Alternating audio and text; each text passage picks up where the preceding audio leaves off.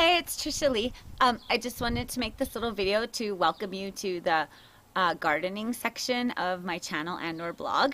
Uh, I'm I'm wishing I would have thought of this sooner and you guys could have experienced all the planting and stuff that went on here.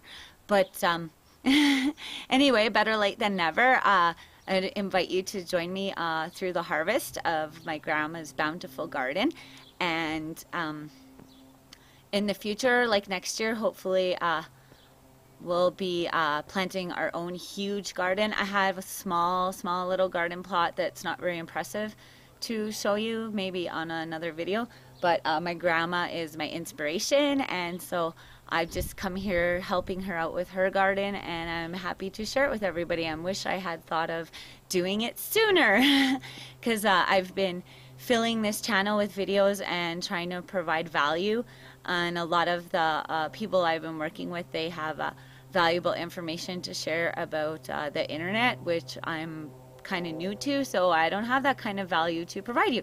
But definitely, um, the skills of gardening that I'm learning from my grandmother are invaluable. They're like way more valuable. If the internet went away, those are the skills that you need to have. So I'm just really happy that uh, I've had this idea to uh, start uh, bringing the camera and making videos and taking some pictures to share with you some valuable gardening information. And I'm really looking forward to it. And like I said, I wish I would have thought of it sooner, and you could have I could have uh, showed you our planting that we did.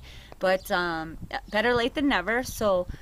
Uh, definitely next season there will be more planting going on so we'll just uh, start bringing the camera with me everywhere.